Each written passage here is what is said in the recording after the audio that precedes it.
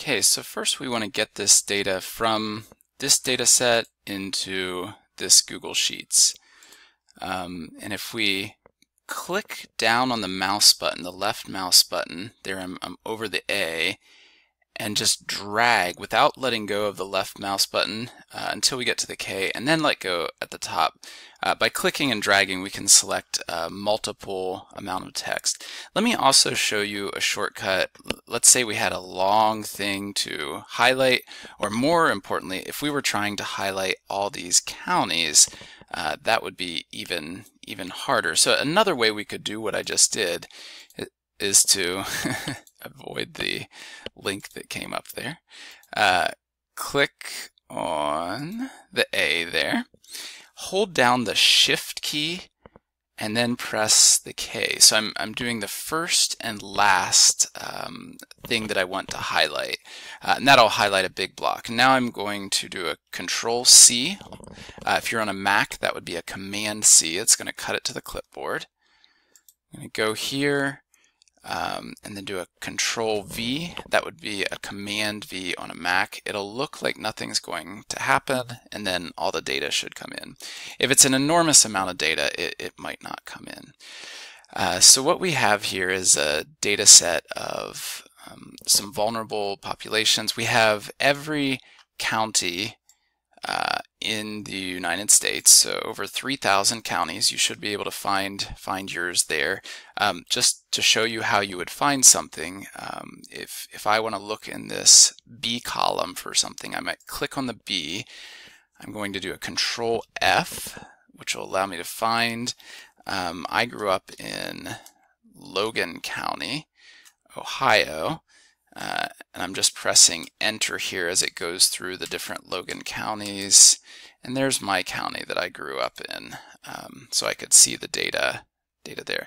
Now notice if I'm looking at my data, I, I can't see what's going on up there. Um, and so that's why I might click on the first row, format, or sorry, view one row.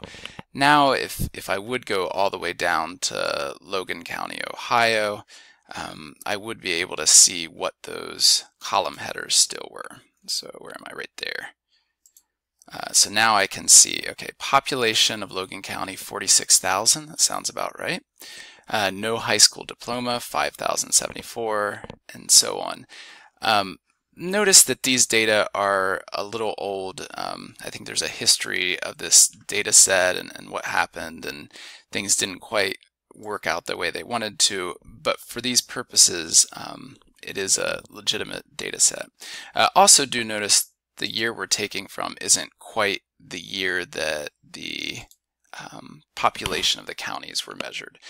So we have to be a little careful with with our proportions here, but it should give us a rough idea. Populations don't change that much that quickly. Uh, it is worth noting that the pure number of no high school diploma or unemployed or, or, whatever we're looking at doesn't tell us a lot. For example, Barbour County, Alabama has 6,700 people with no high school diploma and Autauga, I'm not sure, has 66. So it looks like um, this is just a hair under this. But when we look at the amount in the population, this is actually a pretty drastic difference between these two counties in terms of their education. So one thing we would want to do is look at the rate. Um, what, what percent of the population doesn't have a high school diploma? And let me just show you how that would go. So percent with no high school diploma. And then we would take equals. So I'm saying that I'm doing a formula. This is the number with no high school diploma divided by sign over the total amount in the population. Press enter. And that gives me 0.13. Um, if I just click on that cell and then double click on this one here, it'll fill in for the entire spreadsheet. If I needed to, I could drag that down if, if double clicking didn't work. And one more thing, I'm going to click on L to highlight that entire column. Change this to a percent. Let me just do a percent like this. Okay, now we see pretty quickly that Barbour County has a much higher percent of its its county without a high school diploma than Autauga does.